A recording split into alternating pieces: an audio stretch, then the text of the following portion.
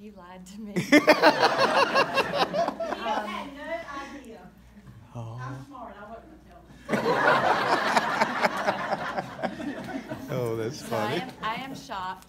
Um, but today is a special day because it is Daniel's birthday and Daniel's anniversary.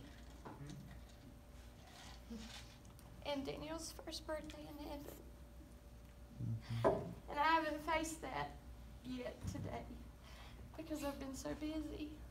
Mhm. But she always had a way. She always had a way of making me feel special when she was the one that was special.